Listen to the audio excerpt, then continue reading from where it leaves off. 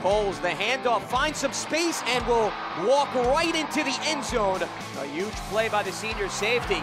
And wiggling out into open space is Coles again. His second touchdown of the game. Kastner is in at quarterback. He takes it towards the left side and will walk in. How about that? The senior on senior day. Jumbo package. And it's a quarterback keeper. A lot of activity at the line. We're waiting for the signal, and it's a touchdown for the Big Red.